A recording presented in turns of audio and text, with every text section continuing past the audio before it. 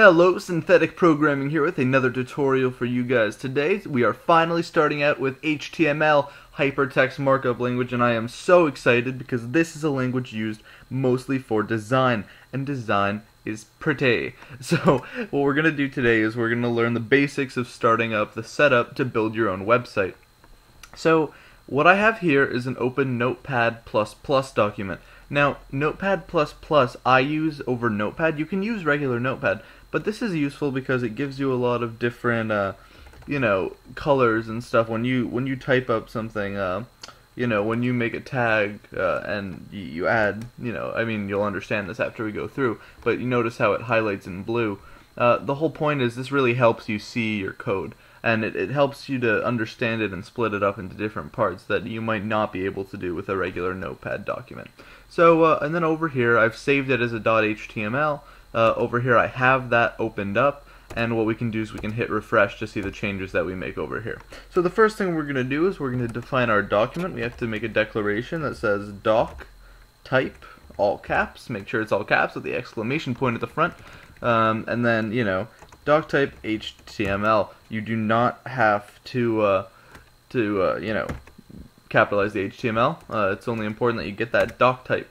Now we've defined that this is an HTML document. Under here we can start to put our tags. Now all of our tags, what how tags work is, uh, you have one that defines what kind of tag it is. So this one is the HTML tag. Uh, oh, let's put that over here.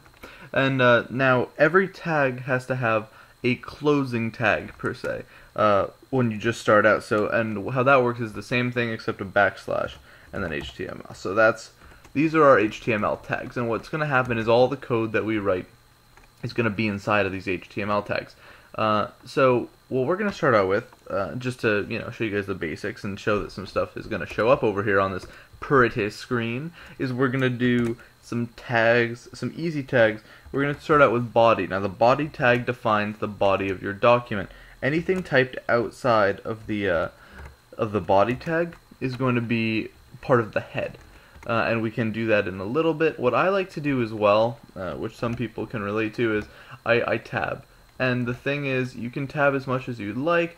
I tab the individual tags just to make sure that I know exactly where my, uh, you know, where my code is. And so over here now in the body, we're going to uh, make a paragraph. Or actually here, let's make a title. And what we're going to do is we can do H1, and H1 is heading 1. Uh, you can do this with, uh, you know, H2, H3, H4, I think it goes to H6.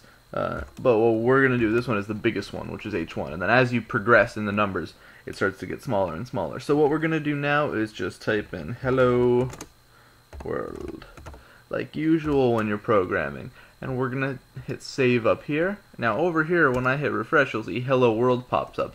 And that's because we've just created this. Now, what it's going to do is it's going to read this going downwards. This code goes down as it reads, and so it's just going to print in a column until we start messing with divs later. But we have time for that another time. Uh, under here, we're going to do H2 just to show you guys the difference.